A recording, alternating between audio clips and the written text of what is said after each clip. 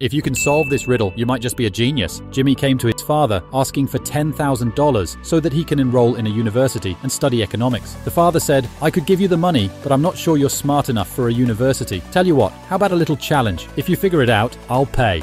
Jimmy is given $1,000 and he now has to allocate the money between 10 envelopes in such way so that the father could ask for any amount of money up to $1,000 and Jimmy could give him that same exact amount of money with one or more envelopes without opening them or rearranging the money. He can sign the envelopes though so that he knows how much money is in which.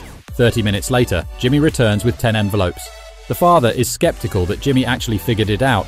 He asked Jimmy for $555, so Jimmy gave him three of the envelopes. After opening them, there was exactly $555 in the three envelopes. The father was shocked, but ended up paying for his studies. How did he do it?